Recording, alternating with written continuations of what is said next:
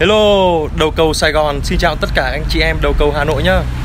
Ngày hôm nay là ngày đầu tiên giãn cách xã hội tại Hà Nội. Và cái đợt dịch này là đợt dịch số 5 rồi. Đợt dịch số 5 tại Hà Nội rồi Và là đợt dịch số 6, số 7 gì đó ở tại thành phố Hồ Chí Minh.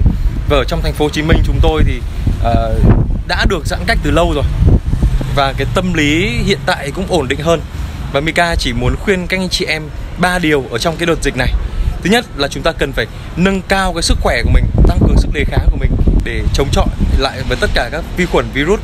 Thứ hai đó chính là chúng ta phải giữ cho mình cái cái trạng, trạng thái năng lượng lúc nào cũng cân bằng giống như lúc mình đi làm.